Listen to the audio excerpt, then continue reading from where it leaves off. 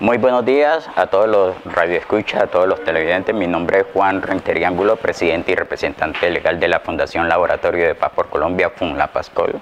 Hago parte pues de esa gran organización tratando con una propuesta pues de, para ayudar a reconstruir el tejido social de Buenaventura y el Pacífico. Lo hacemos a través de la formación y la capacitación porque creemos que es la llave que abre las puertas a nuevas oportunidades. Bueno, hemos escuchado hablar de un laboratorio para jóvenes. Cuéntenos un poco de todo ese proceso y prácticamente qué se hace ahí con los jóvenes. Con los jóvenes, eh, primero es hacer un semillero de liderazgo hacer un semillero de liderazgo, eh, enseñarle al pueblo de Buenaventura que no es solamente recibiendo, sino dando. ¿Qué puedo dar para poder ayudar a reconstruir el tejido social?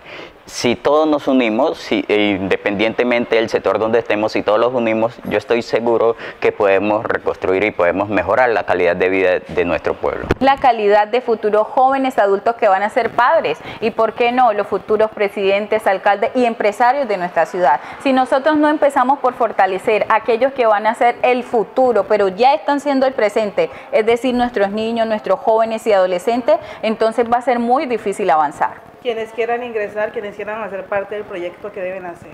Claro que sí, acercarse a la Fundación Laboratorio de Paz por Colombia, la cual se encuentra ubicada arriba en el segundo piso de Indepan, en la Independencia. Pazcol es una familia de puertas abiertas para todos aquellos que quieran hacer parte. Tenemos desde voluntariados, todos los que estamos aquí somos personas que estamos poniendo su grano de arena que empieza por la voluntad y el deseo de que nuestra ciudad avance. Así que extendemos la invitación, no es escatimamos edad, no escatimamos grupo poblacional, solamente una persona que quiera aportarle a su distrito y que quiera ser un instrumento de cambio y transformación.